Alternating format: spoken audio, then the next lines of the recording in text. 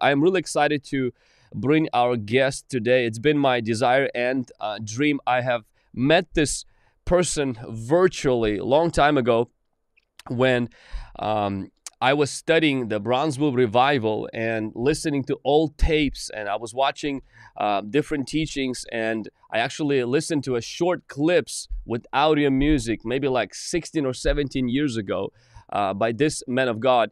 And then later on, as I started to grow in ministry, I would use a lot of his material to reference even my own teaching and my own understanding of certain truths concerning the teachings that we uphold in charismatic and Pentecostal cir- uh, circles.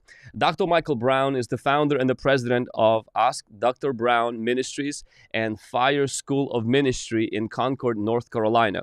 He's also the author of more than 40 books and holds a PhD in Near Eastern languages and he has served as a professor in as a visiting professor in seven leading seminaries. He's a Bible scholar, author, blogger, podcaster, and he's a YouTuber.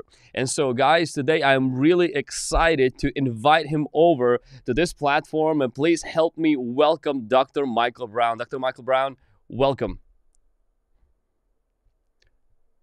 For you tonight. Thank you for agreeing to be uh, on this uh, broadcast. As I mentioned beforehand, Dr. Michael Brown has ruined my vacation last year. I went on a vacation with my wife and um, decided to take a book for recreational reading that says I'm not afraid of Antichrist. I thought it would be just a good uplifting book, you know, during COVID and pandemic, and uh, that book ruined my life in the good sense that um, it shattered a lot of thinking that I had. Start, I started to study the scriptures, go through Greek and Hebrew and all of that during my vacation. And um, yeah, and ever since then, there was a lot of shift that has happened in my mind concerning the understanding of the end times. But before we dive into the end times, I would like our viewers and people who are watching and rewatching to, to know a little bit more about your story. Could you tell us your testimony of coming to Christ?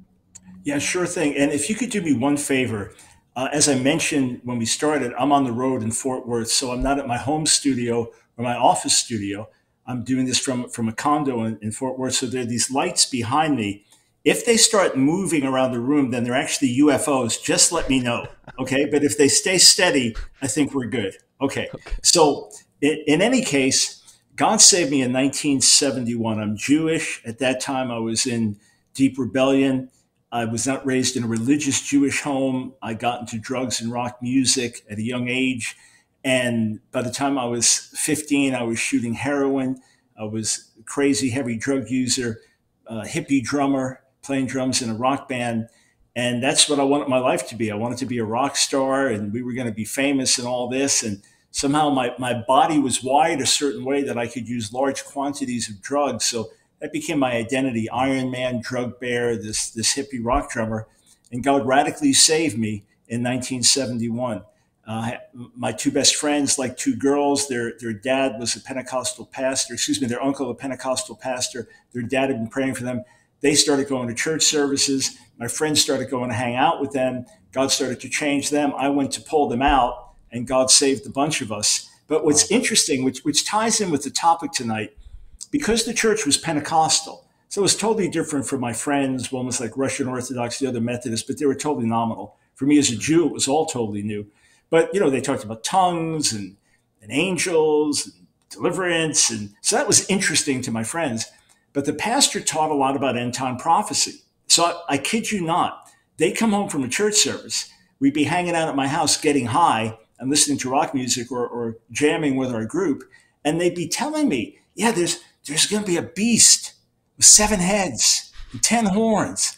And it's going to come out of a bottomless pit. Now, literally, we're, we're getting high and talking about this. Like, that's in the Bible? That stuff's in the Bible? And then, of course, God really got hold of them, changed them, changed me.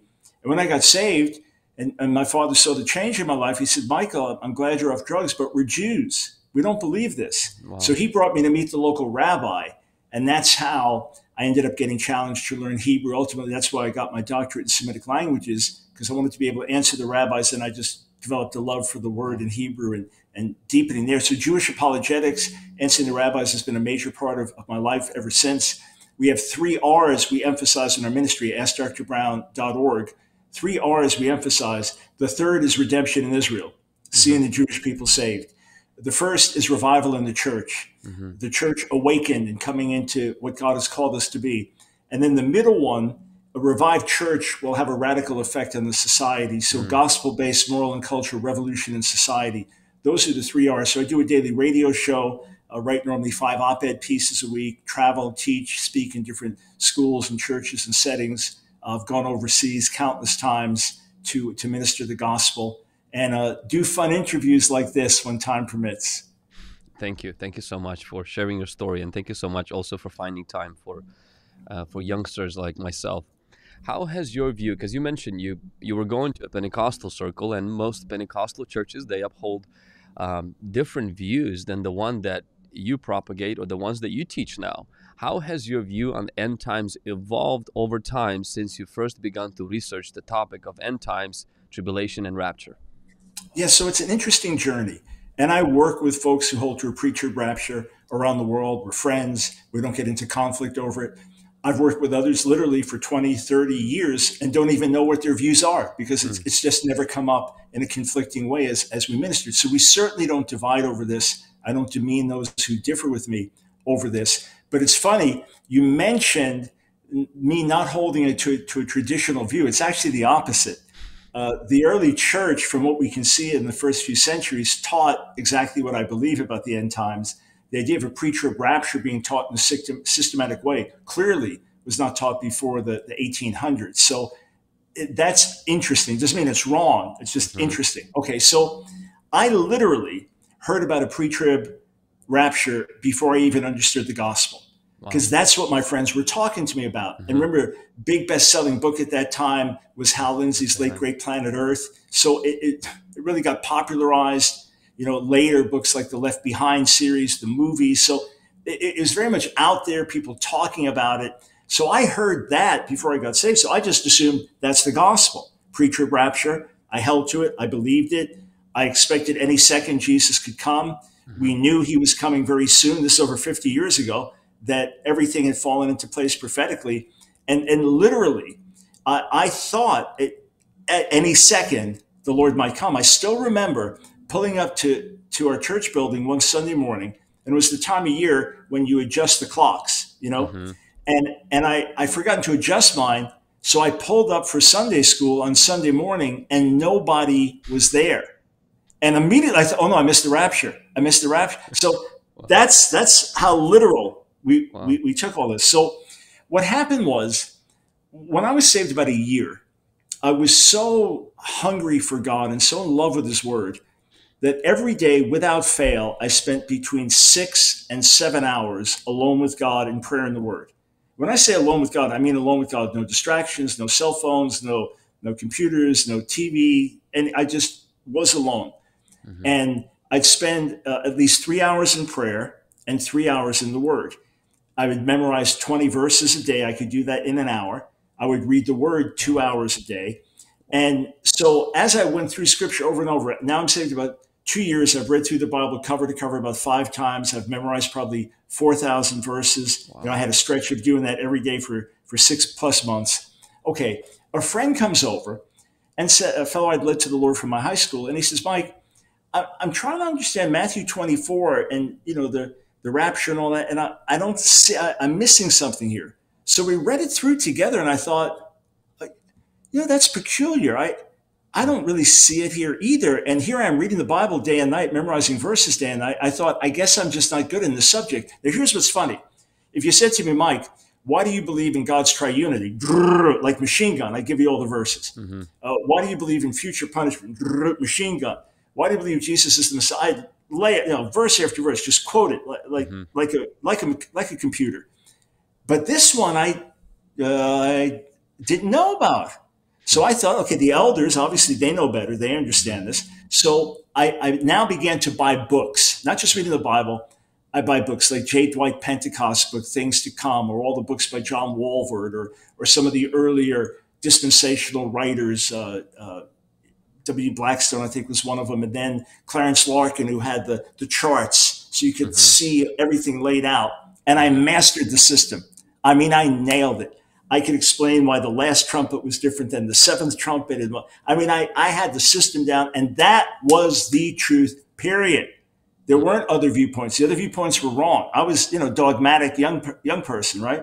So what happens is I'm now saved about four years, and somebody gets a church a book in, in the church, and it's it's Dave MacPherson.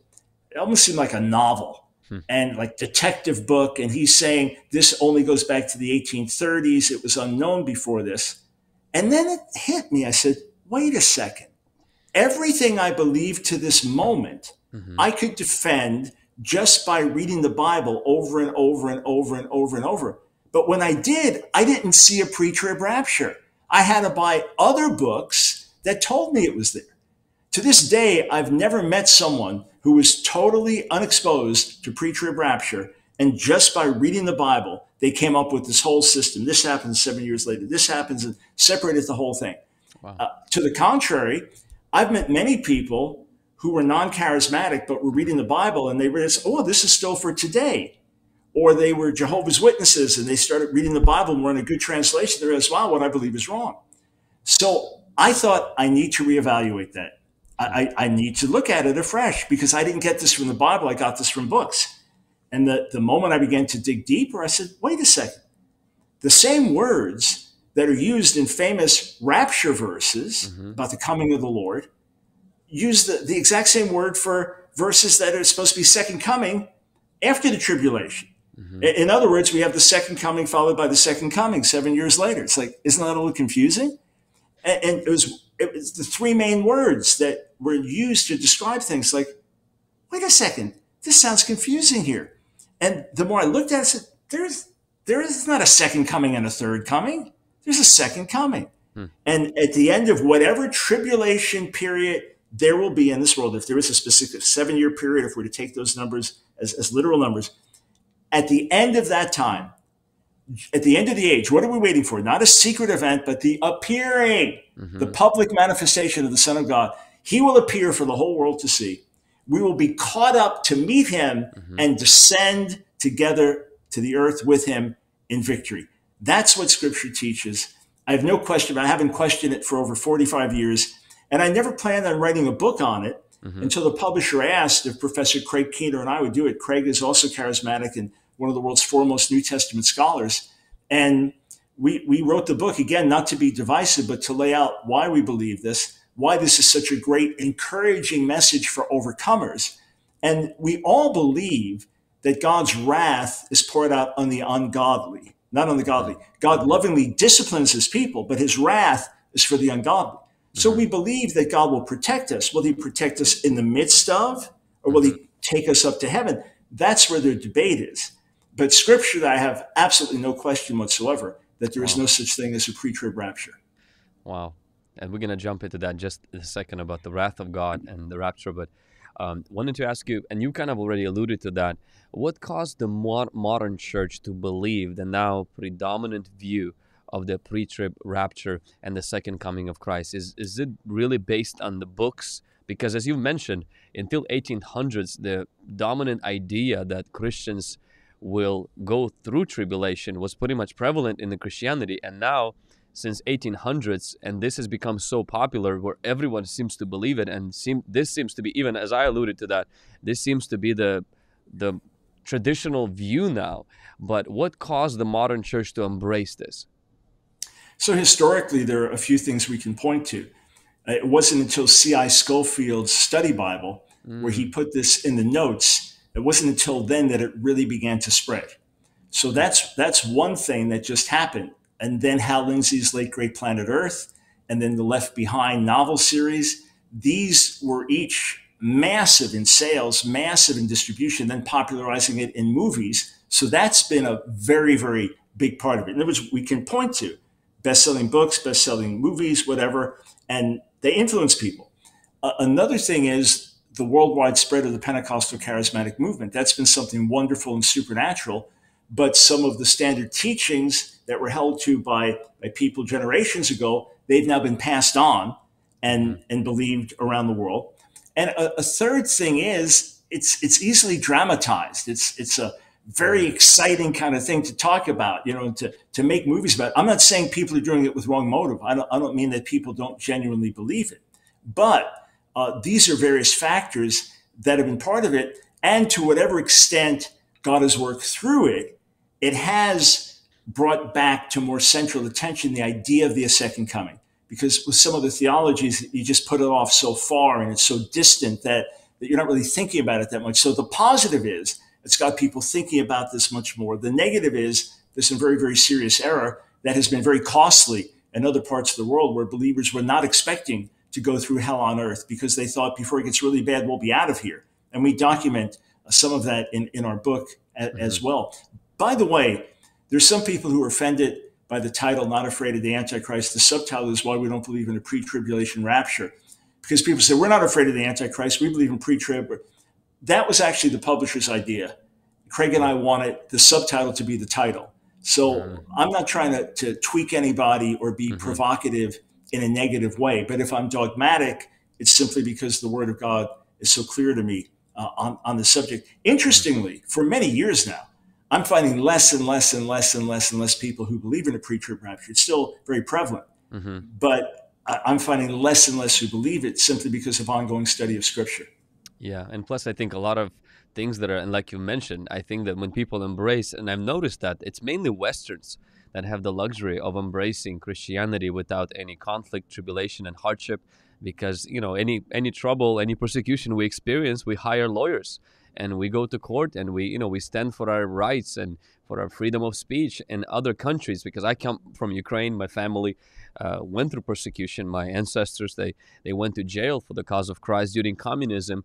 They suffered. They experienced hell. I mean, I don't think even what people are experiencing right now in the Ukraine is any different than what a lot of people will experience during tribulation. They don't have food. A lot of them are stuck in the basement for 13, 14 days. Some of them are being raped, hanged, killed, destroyed. And, and so to them, tribulation is happening right now. I'm not saying in any way downplaying how difficult things will be during the great tribulation. Jesus says the suffering that the world has never seen. But this idea that we're going to have a suffering free life is really, uh, I feel like it's being pushed mainly by the Christians in the West, but it's not shared by the Christians outside of the West. And um, you already alluded to the weak points of the pre trib concerning the fact that it's recent. It's not something that Christians believed for last 2000 years as well as it splits the return of Christ into two phases, the rapture and the second coming. No matter how much people would like to say that the rapture is not actual coming of Jesus because it's coming halfway, but it's still it is second coming and the verses that it, you alluded to, they're referring to the rapture and the second coming in the same setting. But the the reference that got me in your book was concerning the resurrection how it's obvious in the verses concerning rapture, it says that those who were dead will rise and meet the Lord in the air with us who will be caught up to meet the Lord in the air. And then in Revelation, how it says that after the tribulation, that people will experience first resurrection. And so, and that just, when I read that, it's almost like I didn't see that before um, concerning that. But I want to highlight some of the strong views that pre-tribulation view holds. And you already kind of highlighted that a little bit. Uh, would you go a little bit deeper concerning the issue of the wrath of god? How we are saved from god's wrath and the the tribulation is god pouring out his wrath. And how could it be that god will allow us to be here while he's pouring out his wrath yeah, so First Thessalonians 1, 1 Thessalonians 5 say we're not appointed to wrath. We're not there is going to be future wrath poured out with judgment in hell. We're not appointed to that. Let me ask you a question. Everyone that has lived up until now, have they experienced the seven year tribulation or not? No, they haven't, right? If we're going to take that as a future event. Mm-hmm. So when Paul tells the Thessalonians in the first century, you're not appointed to wrath. So they died 2,000 years ago. What's that got to do with the Great Tribulation? Every generation in history has died thus far. And Paul says you're not appointed to wrath. It doesn't mean you're not appointed to go through the seven year tribulation. To the contrary, Jesus says, in this world you'll have tribulation. In John 16, Paul says in Acts 14, you must go through many tribulations to enter the kingdom. And nowhere does the word separate. This is a separate issue, different kind of tribulation. So, first, it, it's talking about future wrath that will be poured out on the ungodly. Second Thessalonians 1, when Jesus returns, he will give us relief, right? the believers will get relief when he returns in flaming fire, taking vengeance on those who don't know God. So he's going to destroy the wicked. We're not appointed to that.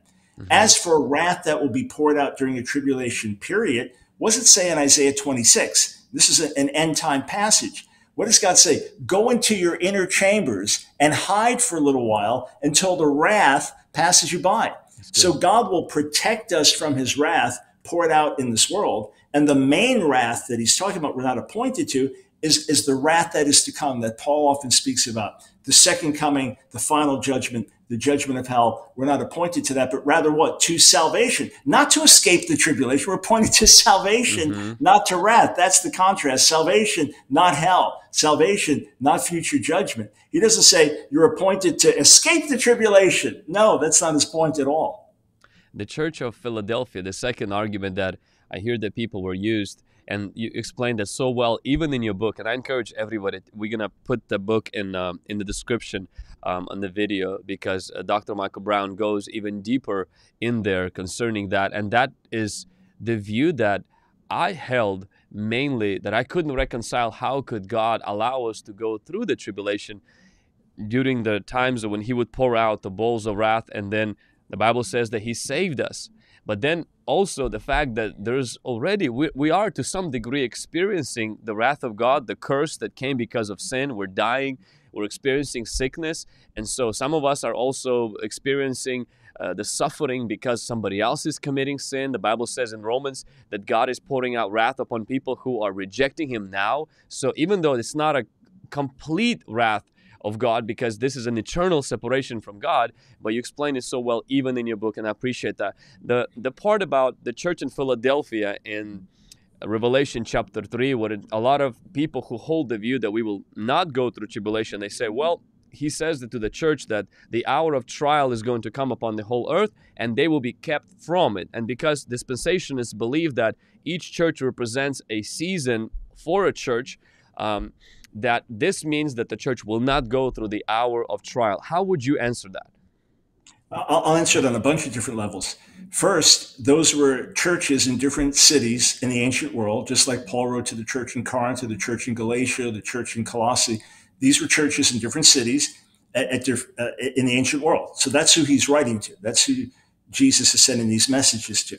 Nowhere does it say they're church ages. That's number one. That's good. Number two, even if they were church ages, uh, Philadelphia is not the last one. Laodicea is, right? And according to pre tribbers, there is no church in the tribulation. So that chronology is off because the, the church age that many will say we're in is a Laodicean age. So this is a promise to the previous church age according to that way of thinking. So not only is there nothing in the text that says it's a church age, the chronology doesn't fit because Philadelphia would allegedly be passed if we're in Laodicea now. Uh, the third question would be, what did that promise mean to the believers then? What did it mean? There were there was a church then that he spoke to. It must have had some relevance to them then. When we figure that out, then we can make application to ourselves. And a fourth point is, since nobody knows exactly when the end is until it happens, that every generation will divide the church ages differently. In other words, if I came to the conclusion that these were seven church ages and I lived a thousand years ago, I would say we're in the Laodicean age, we're in the final generation, and it, it divided differently. Now we're dividing it a certain way. If the Lord doesn't come for a while, we have to redivide it. So the whole thing becomes ambiguous. But just looking at the Greek, the, the Greek words there, keep from, with, with the verb and the preposition, are found only one other time in the entire New Testament. In John chapter 17, I believe verse 15, mm-hmm. when Jesus says this about his, his mm-hmm. disciples. I do not pray that you take them out of the world. Read it for yourselves, those who can read Greek, but that you keep them from the evil one. So he says, I'm not, Father, wow. I am not asking you to take them out of the world, to rapture them out, but rather to keep them from. So even if I dismiss all the other arguments against the misuse of that verse that I just raised. Mm-hmm. Even if I said, okay, it applies universally to all believers, fine. God will keep us from that, just as He's done throughout Scripture. In the midst of this world, He's mm-hmm. never taken anybody out of this world otherwise, right? Unless they died. Yeah. In the midst of this world, He knows how to keep us. Isn't that the great message of Second Peter 2? God mm-hmm. knows how to keep the godly in the yeah. midst of chaos and judgment on this earth. As he did with Israel in, in Egypt, uh, some plagues attach, attacked Israel and Egypt, and then there were some that God protected Israel in Egypt, as he did with in Noah. Egypt. Yeah, he yeah. he didn't take Noah out of the earth. In fact, he it was the wicked that he took out. And then even as he did with Lot, you know, he was supposed to destroy five cities, and Lot ran into one of the cities that God was supposed to destroy, and so God stopped that. But still, Lot was on this earth that God protected him from. And so this idea that God has to take us out to protect us from His wrath is is just t- totally Western, but it's not scriptural. And guys, if you're receiving, if this is blessing anybody, mind blowing, drop number one in the chat. If you're rewatching this, also drop something in a comment. Let me know that you are with us. Uh, Dr. Michael Brown, also concerning, uh, and I hear this a lot from people say, well, the word church, you know, appears 19 times in the first three chapters of Revelation. But right after that, the moment the tribulation starts, Antichrist comes on the scene, the church disappears all the way until chapter 12. In other words, entire lengthy description of the tribulation in Revelation, the word church, the word church is pretty much absent. And that is a proof that the church is not going to go through tribulation because the church is not mentioned during the whole Revelation dark times. What would you say about that? First, the reason that ecclesia is mentioned in the second and third chapters, or even in the first, is because Jesus is speaking about the different churches in different places. That's why that term is used. That's number. That's number one. Uh, number two, the church, according to pre-tribbers, is in heaven. Correct? It's no longer on earth, but it's in heaven. How come John never sees it in heaven? How come he never talks about the church in heaven, calling it the church? So hmm. he doesn't mention the church on earth. He doesn't mention the church in heaven either. That's good. But what's the what's a, a common way that New Testament believers are described? Saints, holy ones. That occurs elsewhere in Revelation about believers on the earth. And as the plagues are falling on the ungodly, the, the saints, the mm-hmm. believers, the holy ones are holding fast to their testimony. So, of mm-hmm. course, we're here. If you're going to say, well, we're, we're not on earth, well, then we're not in heaven either based on that. So it's it's mm-hmm. another one of those arguments you think, oh, got to do better than that. Got to yeah, do plus, better. Plus, it says in Revelation that the enemy will conquer saints and he will kill them, uh, and that that speaks of saints. And so, church is Christian Christian people, and so um, that's that's a good good um, explanation for that. Um, there's also a big idea that is pushed concerning the distinction between Israel and the church, and how God separate has a separate plans for both of them and it kind of ties into the 77s from the Daniel chapter 9 verse 24 that Daniel decreed upon Jewish people that pretty much there will be bad stuff happening to Jewish people, a lot of purging and restoration, uh, and it's mainly dealing with Jerusalem and Israel, not with the church. And you, as a messianic believer, and who also talks a lot about the difference and also the unity between the church and the Jewish people. Would you give us an insight into that, the whole Daniel 77s, and as well as the role that Israel and the church plays in the tribulation? Sure. So I absolutely affirm God's promises for Israel. I believe that the modern state of Israel is an ongoing part of God's fulfillment of prophecy. I believe that at the end of the age, there'll be massive repentance in the Jewish community and a national turning to Israel, what Paul writes, Romans 11 26, all Israel will be saved. I also believe we'll continue to see a great increase in harvest in the nations. As Paul writes in Romans 11 25, he speaks of the fullness of the Gentiles coming in. Uh, but very simply, the ecclesia, the, the kahal in Hebrew, those are Jews and Gentiles who believe in Jesus, who have been saved. So together, Jew and Gentile make one family in God, just like male and female make one family in God. We still have our distinctives, but we are one family in God. But just as God has purposes for different nations on the earth, he still has his purposes for Israel. And according to Romans 15, the Messiah does not cancel the promises to Israel, as some replacement theologians believe, but he confirms the promises mm-hmm. to Israel. So what I expect is all the prophecies to be fulfilled. Jesus returns to Jerusalem, not to Rome mm-hmm. or, or, not to some other part of the earth. He, he returns to Jerusalem to set up his kingdom there. His Jewish people will welcome him back in repentance. I believe that's what scripture speaks of in, in many other passages I won't get into here. But in short, Daniel 9 nowhere lays out a quote parenthetical age, mm-hmm. or you, you, nowhere does the text say that there's going to be a 2,000 year gap between the 69th week and the 70th. It just says after this. So after the 69th week is the 70th. So I believe there's a short gap from the time of the crucifixion to the destruction of Jerusalem in the year 70. But what, what that passage talks about is the Messiah's coming, his death, his, his bringing atonement for sin before the second temple was destroyed. Verse 27 talks about the destruction of the second temple by the Romans, which took place in 70. So everything spoken of is fulfilled within that time period. And it's a very powerful prophecy for us to use in sharing the gospel with Jewish people to say, hey, the Messiah had to come and die and pay for our sins before the second temple was destroyed. So if you just read it a hundred times by yourself, mm-hmm. you would not come to this conclusion that the 70 weeks are just dealing with Israel, that the church is something completely separate, that there's a giant parenthesis of 2,000 years for the church to, to spread between the 69th week and the 70th week. Someone would have to teach you that. Someone would have to explain that system to you.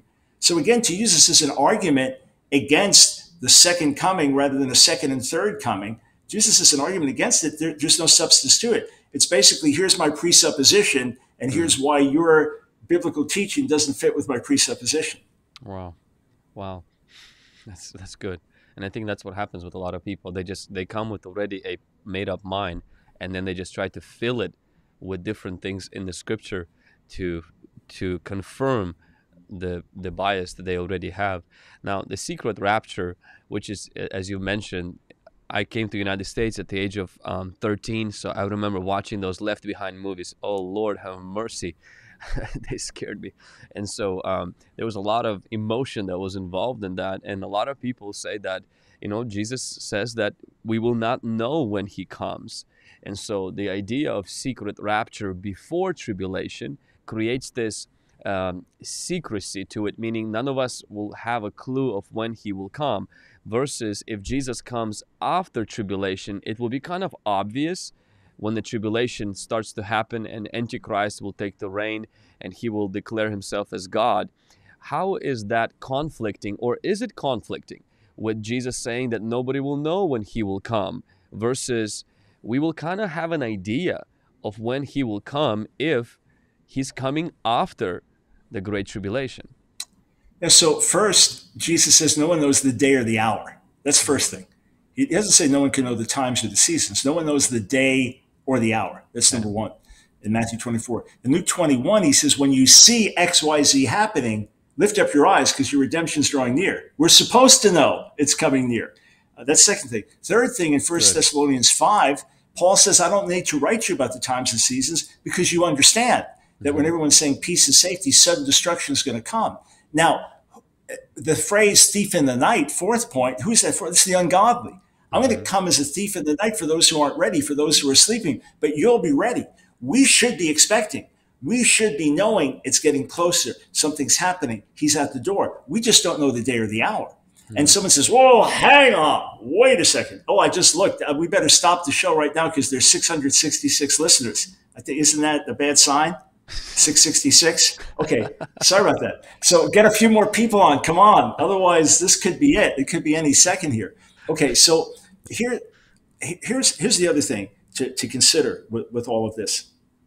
When people say, look, if you want to know the day or the hour, that the, the moment the tribulation begins, you count off seven years to the day, and you know, boom, that's when Jesus is returning. Mm-hmm.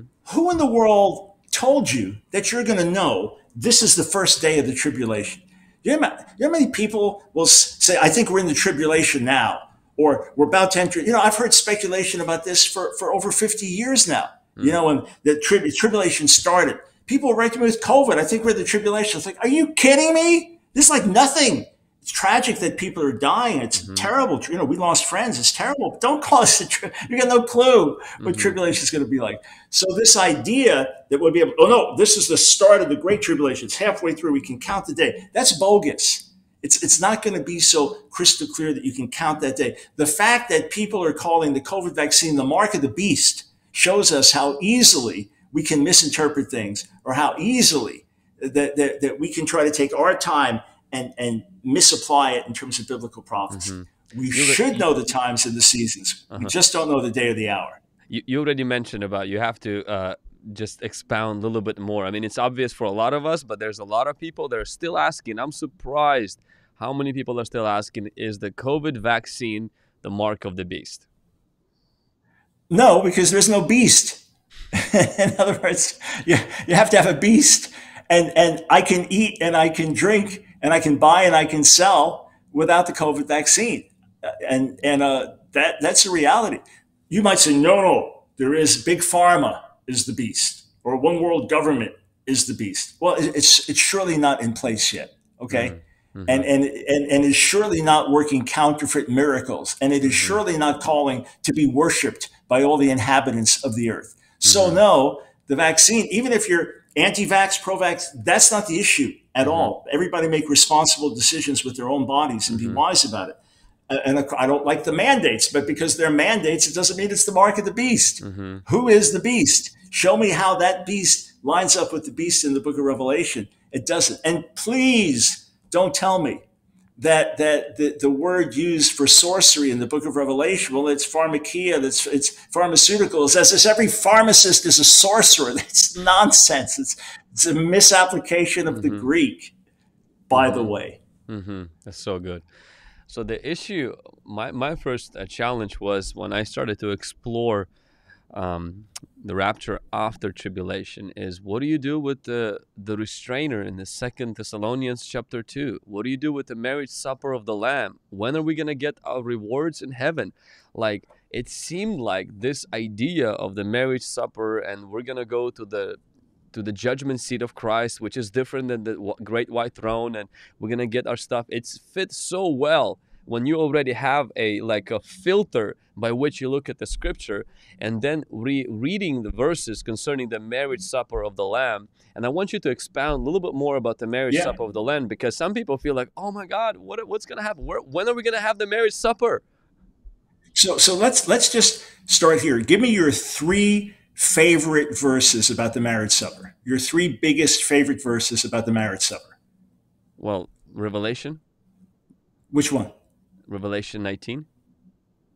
Isn't that the, the beast, the, the birds and the beast mm-hmm. eating the, the bodies mm-hmm. of the slain? Yes. That's not what we're looking forward to. That's that's not the marriage supper of the Lamb for us.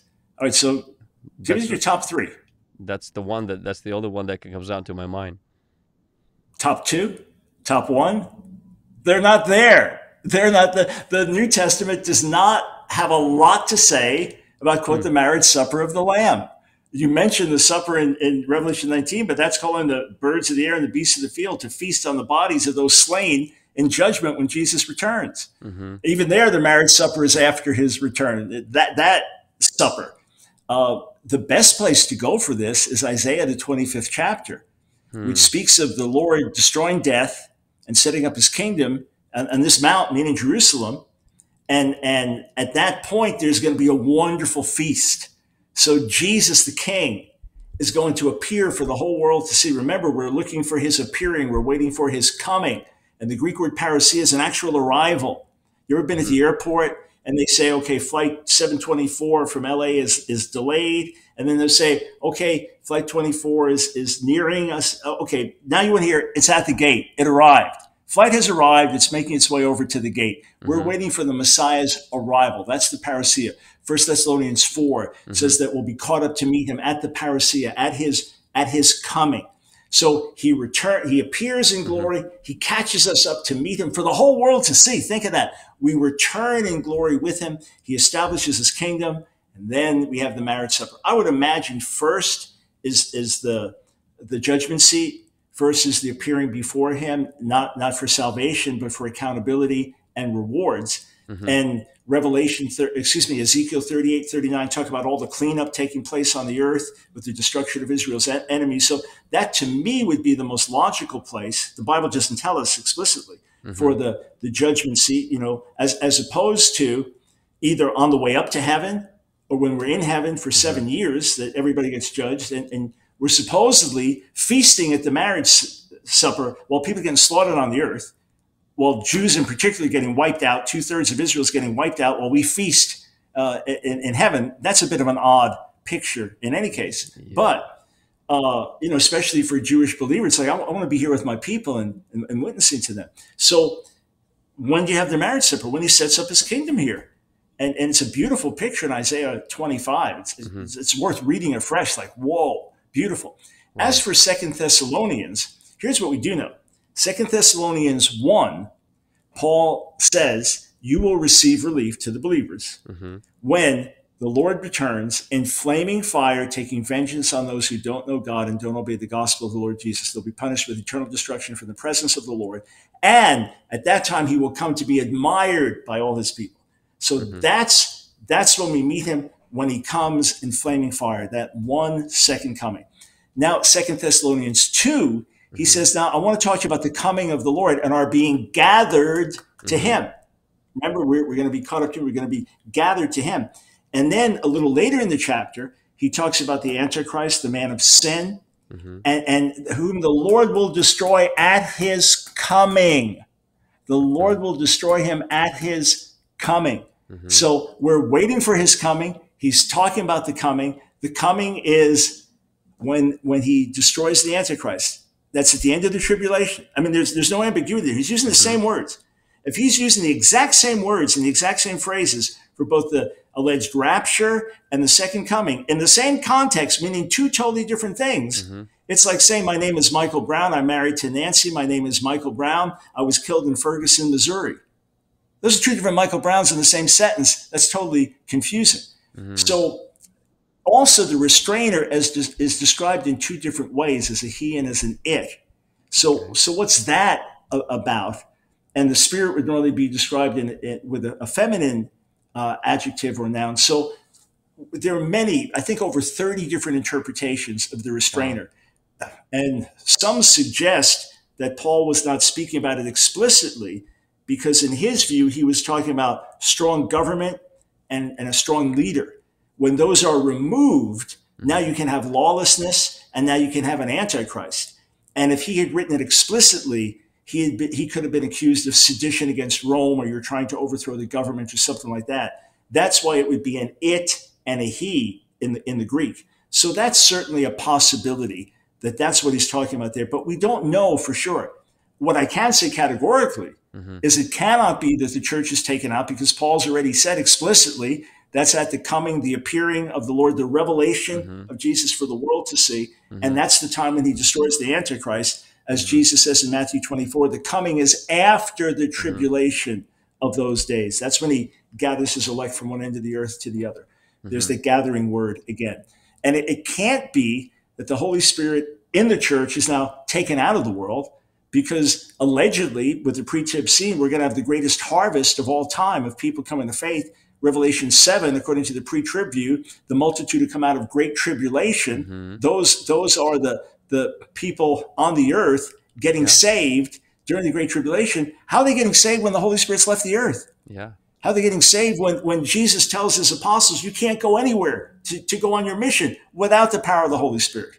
So yeah. it's it's completely contradictory, aside mm-hmm. from being a, an interpretation of, of the verse that no one ever heard of in, until relatively recent times. Mm-hmm. Or how can the two prophets prophesy in, in the book of Revelation without the Holy Spirit being present? here. Very, very How can believers endure? How, mm-hmm. can, how can they endure and, and, and, overcome without the Holy Spirit? Mm-hmm. What are the potential risks of believing strongly in pre trib view for one's faith? Okay, there, there, are several.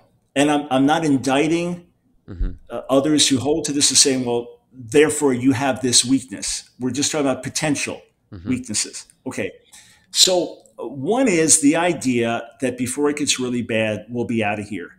That sets up a false expectation.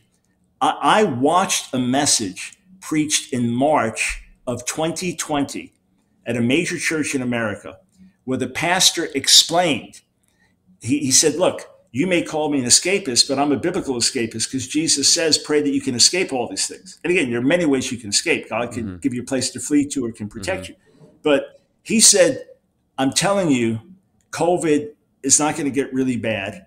If it does get really bad, we'll be out of here first. This is what he actually said. We will be out of here first. And thinking, Cole, you're telling me be, before a pandemic. Mm-hmm. We're going to be out of here. We're, we're, people, believers out of here before the Spanish flu or before the Black Plague. Mm-hmm. But now we, we get to be out of here. But this was based on, he went exa- in depth because of his pre trib theology. Mm-hmm. He emphatically said before it gets really bad. So there's an instance in the book. Uh, Professor Keener and I researched it to make sure it was accurate. But Corrie ten Boom talks about this that hmm. believers in China before the bamboo curtain, before Mao Zedong, were, were, were taught pre-trib rapture. And we're told, hey, you know, we've got to flee the country now. We're getting kicked out as foreigners, but don't worry, before it gets really bad, God will rescue you and take you out. Well, of course, they went through hell on earth. Is the Antichrist going to torture you worse? Is he going to burn you alive worse? Is he going to behead you worse? Is he going to bury you alive worse? I mean, these, these people went through hell on earth.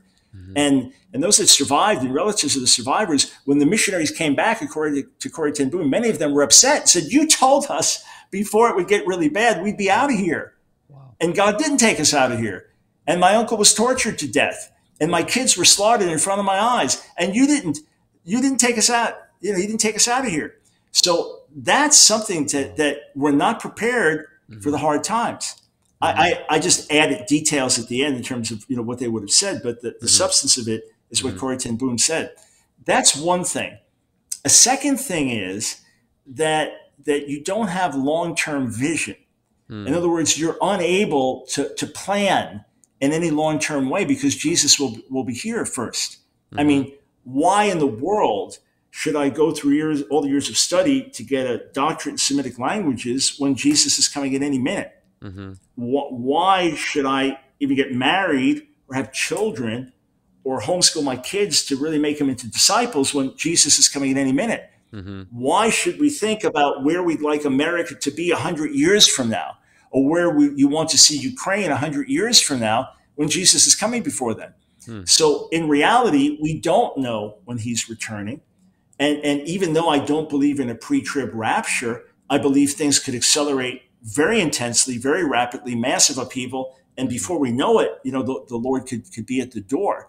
So I'm not one of those that says, oh, we got a thousand years, don't even think about it. And plus, in any case, we only have one life. I live with tremendous urgency. I'm 67. I, I, burn to see God move more. I burn to see more of my Jewish people saved. I, I burn to see the nations know the Lord. I, I burn to see the church come alive. And I've only got one lifetime to mm-hmm. live this out. That's mm-hmm. sufficient incentive for, for me as our missions director at, at our ministry said years ago, I don't know if it's the last generation, but it's our last generation. Yeah. That gives me all the urgency I need to, to make an impact while I yet have breath.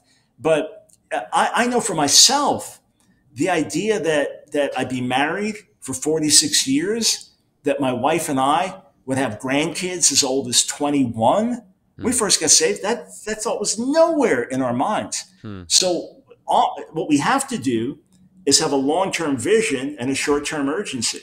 Wow. Right. And and on a practical level, just to, to speak in a practical way, I look at it like this. I'm in a relay race, right? Mm-hmm. And, but I just don't know how many legs there are in the race. I don't know if it's four by 100 or 10 by 100 or a thousand by 100. All I know is I have my hundred to run. Mm-hmm. So I've got to run mine the very best that I can. Paul says in 1 Corinthians 9, run so as to win. Mm-hmm. And then my goal, it remains my goal. I want to get to the end of my race and put the baton in Jesus' hand. In other words, mm-hmm. I want to be part of that last generation that mm-hmm. sees him return. But if not, I put it in the hand of a spiritual son or disciple, and that person's going to run with it. And so either way, I'm running with urgency, but I'm constantly raising up the next generation and the next generation to do the work in an ongoing way. I have a multi generational mentality while I live with a sense of urgency. So good. That, that that's so good. That's so good right there. How close we are right now with what's happening in in Russia and Ukraine, what's happening with COVID and and everything. How close do you think with all the craziness in this world that we are to the second coming of Jesus Christ or what mm-hmm. because a lot of people who preach pre-trib, I mean, I've read books that the first introduction has if you're reading this and you left you're left behind, this is what you do. And so but it seems like it seems like it's bringing urgency, but in reality, it really kills the idea of us thinking in multi generations, thinking, taking responsibility for our planet, taking responsibility for our generation, and winning them for Christ. But what do you think? What else has to happen for Jesus to come or how close we are? Anything else we're still waiting to take place before the Lord Jesus Christ comes? So, on the one hand, the table is set in a way that it's not been set for previous generations, even with Jerusalem, uh, uh, the, the U.S. Embassy in Jerusalem. It's just it's another strengthening of, mm-hmm. of Jewish control of Jerusalem and things like that, because mm-hmm. scriptures clearly indicated Jewish Jerusalem walking the Messiah back. Mm-hmm. So the table's set in many ways, but as I see it, there's much that still has to be done. For the gospel to, to reach every tribe and tongue, that's still not nearly happening. Mm-hmm. I mean, the vast majority of the world has access to the gospel, and things could happen quickly through internet and other things. But literally, there are more than 2 billion people on the earth, more than 2 billion. So, say the US population over six times multiplied or the population of Ukraine multiplied 50 times, who mm-hmm. have never heard the name of Jesus, who don't even know he existed.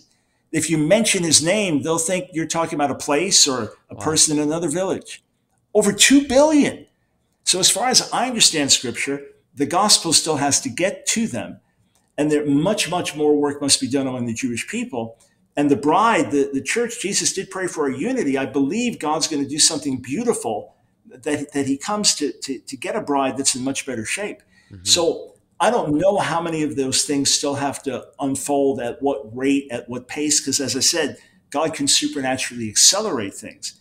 But honestly, could we dare say that the times that we're living in today were any near, uh, could anywhere approach the horrors of World War II and the slaughter of two out of every three Jewish people in Europe and tens of millions of others dying and the revived Roman Empire under Mussolini, the prophecy experts had it worked out. Hitler and Mussolini, they were straight out of the book of Revelation. Mm-hmm. They had it all worked out. Like I said, late great planet Earth, which came out with the late 60s, that was all worked out there.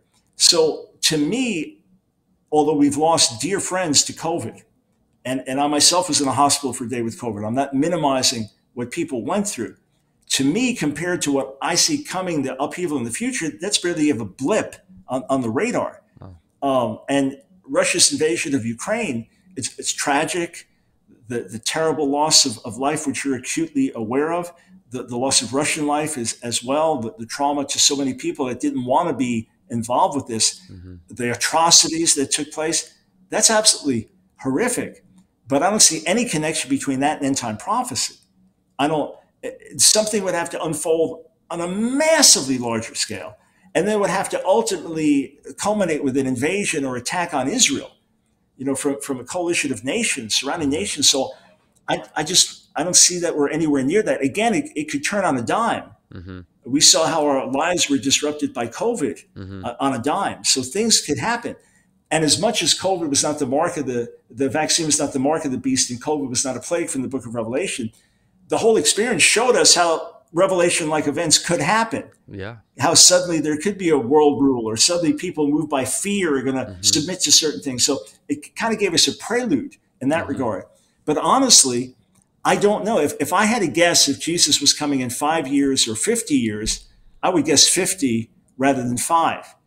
Um, but I don't know. It, it mm-hmm. could be 200 years from now you know, when the, the, the, dispensationalists started teaching, they certainly weren't expecting this. But we know from the New Testament mm-hmm. that there was not a, a, an absolute teaching of Jesus could come at, at, any moment. You know, for example, when, when he gives the disciples the Great Commission, they weren't expecting he's going to come in a few days. He tells Peter how he's going to become an old man and, and how he's going to be crucified, mm-hmm. right? Mm-hmm. So there was expectation of time coming. Some of the parables talk about like a king going off to a far off country, and people think, oh, he's never he's never returning. Mm. So those things are all all built in there. Mm-hmm. Uh, you know that that there certain things had to happen, but we live with a sense of urgency because the judge is at the door. We just don't know when that final breakthrough happens. Wow.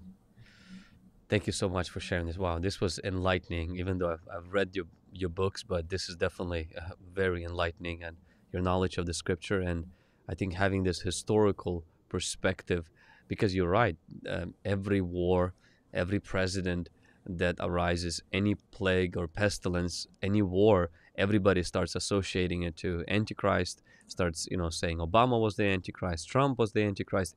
Every president. Gorbachev, because he had he had the mark. Gorbachev had the mark on his front. I remember hearing it. You know, I, have I've lived through more of this. You know, and, and when you go through the last hundred years of different interpretation application mm-hmm. and then go back through church history and people had figured out this one is like a thousand years ago this is the end and so mm-hmm. on to me what it does although people are very sincere and very mm-hmm. passionate and taking the bible very seriously which is wonderful it mm-hmm. cheapens the whole thing yeah you know i joke with people if, if you're going to keep a prophetic calendar do it in pencil and, and I, I used to joke in the 70s someone's going to write a book why jesus is coming in the 70s and then in the 80s, he's going to put out the second revised edition, Why Jesus is Coming in the 80s. Well, in 1988, there is an author who wrote the book, 88 Reasons Why Jesus is Coming in 1988. He's going to come September 12th, 1988. Wow.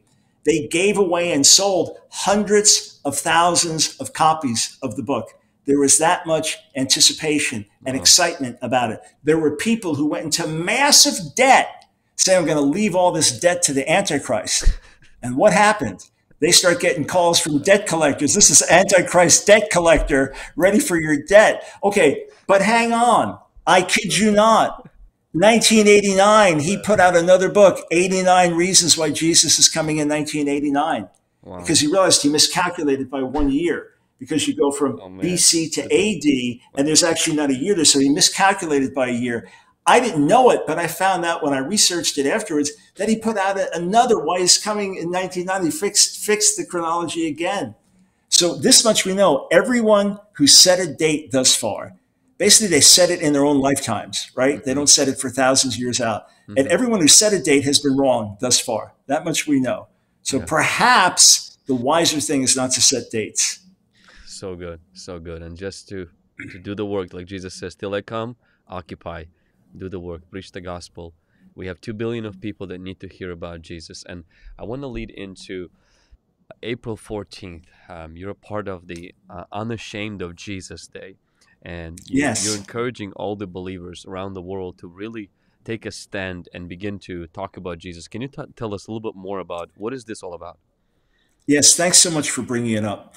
As I was writing the book, The Silencing of the Lambs, which came out last month, the silencing of the lambs, the ominous rise of cancel culture, and how we can overcome it. It's, it's a shocking book. I mean, how much uh, is going on to muzzle our voices, to marginalize us, to demonize us, even to cancel us. The second half of the book, though, lays out strategies as to how we overcome, how we overcome this silencing attempt. And I once heard a radio, radio host say, the more they try to silence us, the more we shout out our message. Mm. And as I was coming to the end of the book, I just felt stirred by the Lord that if we had one particular day, and on this day, all of us went out of our way to declare our faith in one way or another, that it would bring a solidifying feeling, it would bring a confidence, it would open up doors to share the gospel. You said, well, we should do that every day. Yes, we should, but many of us don't. Hmm. Many of us kind of fly under the radar in the workplace. People don't really know we're believers. Or just because of the nature of work, you might not know how many other coworkers are believers. And then once you declare your faith, the cat's out of the bag. Everybody hmm. knows they're now going to come to you with questions, So they're going to be watching you, or they're going to be saying, "Well, what about this or that?" and and coming for prayer or whatever. So it, it's a day for us to declare to the whole world, we're here, we love Jesus, we're not ashamed of the gospel. We love Jesus. We love you. And here we are. So, April 14th, it's coming what? In one week. Yeah. April 14th, National Not Ashamed of Jesus Day. This is the first time we're doing it. When I felt the Lord gave it to me, I thought, mm-hmm. oh, that's crazy. Don't even think of it. But it stayed with me. And then I mm-hmm. bounced it off others. What are you feeling? They were all excited. And so what we're asking everyone to do is this. Mm-hmm. Go to notashamedofjesus.org. Right. So everyone that's watching, you're, you're already uh, social media savvy. Notashamedofjesus.org.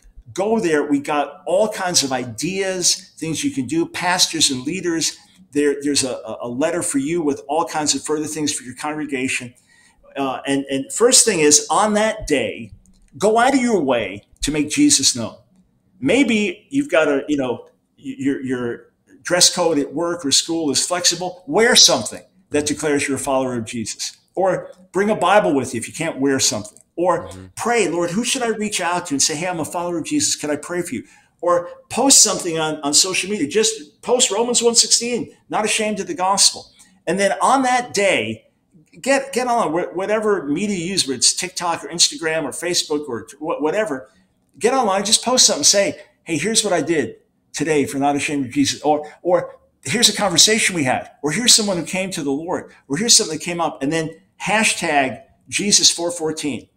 Hashtag it Jesus 414 so we see it. But if you just take a moment to go to notashamedofjesus.org, check it out. And why 414? Esther 414. Mm. Mordecai's words to his cousin Esther.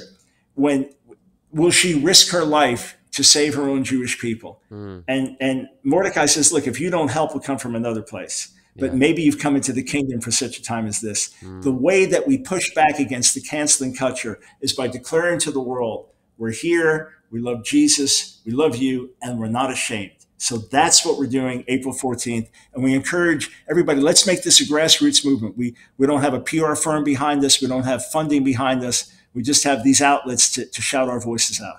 Mm, we're going to do it. Guys, if you're going to do it, let's drop number one in the chat. If you're catching this challenge, and next week on April 14th, um, we're going to either where we're dropping the website right now in the link and so that you can go in there and download whatever you need to download, any other instructions, as well as uh, Dr. Michael Brown. If people want to connect with your ministry, if they want to uh, follow your ministry, could you share a little bit how people can find you online? Yeah. So askdrbrown.org, askdrbrown.org. We have thousands of articles there and resources on a wide range of subjects. So just search for what you're looking for. That'll also link you every day when our radio show comes up because we do a live feed on Facebook and YouTube. Or if you're on YouTube, subscribe. Ask KDR Brown. Ask Dr. Brown. Subscribe there. We have well over 2,000 videos. We have whole series refuting rabbis, debates with gay activists, atheists, all kinds of material. I normally write five articles a week, so whatever's happening in the world around us, write articles about it as well. So the daily radio show, we do a YouTube feed, the articles, askdrbrown.org or subscribe on YouTube, mm-hmm. ASK Brown, and everything there is free. So enjoy it, take advantage of it. And your book, uh, Silencing um, of the Lambs, is it available on all platforms and also in audio yeah, yeah. version? Yeah, all platforms and audio version. Actually, um, I, I enjoy getting getting my books now on audio. I actually buy a copy because by the time a new book comes out, I've normally written one, two, three other books before the new one comes out, you know, because mm. of the process of publication. And then I like to hear it afresh with somebody else's voice because it, it's, it's like I'm hearing it. I'm getting jarred and impacted by it. So as I'm listening to it, it's like, whoa, this is intense. Like I wrote it, but I'm hearing it back. Uh-huh. So the reader does a good job on this actually. And uh, yeah, it's available on all these different platforms. Yes, sir. Thank you. Uh, uh, thank you, sir, for joining us today and for sharing. And I know a lot of people who will be re-listening and re-watching. We will drop all the links of Doc, Dr. Michael Brown and to the to his new book, and as well as to other books. You guys, and if you have never heard um, anything or uh, from Dr. Michael Brown, or if you have not subscribed to his blogs, I constantly um, your blogs on once saved always saved like have really helped me to frame the vocabulary for refuting that um, that teaching and especially the airplane illustration about you know being in the airplane and not jumping out of the airplane. And so a lot of times if i have a question concerning a debatable topic i just go on your website and i search the blogs and read them through. And so i just want to say huge thank you for investing into the online community for people like us who will be able to read um, who are searching for answers searching to know more, and uh, it's really helpful to us. So I just want to say a huge thank you and uh, blessings to you on your ministry. And I'm excited to rally with what God has put on your heart for next week on April 14th for Not Ashamed of Jesus Day. So thank you, and thank you for being with us today. Oh, my, my joy. Thanks for the solidarity. And we're in this together. Let me just say this last thing. Some people are really mad at me because because I've explained these things about the end times and laid out my views. If you think I'm wrong, then pray for me and feel bad for me. But if you're really angry, it's like, why? Could it be because what I've said is right? So, hmm. what I'd encourage you to do is what I do with the word Father, show me my blind spots. Whatever, whatever the word says, I love. Whatever God says, I embrace. If we have that attitude, we'll come out well. God bless, man. Thanks. Thanks for having me. Great being with your people. Thank you.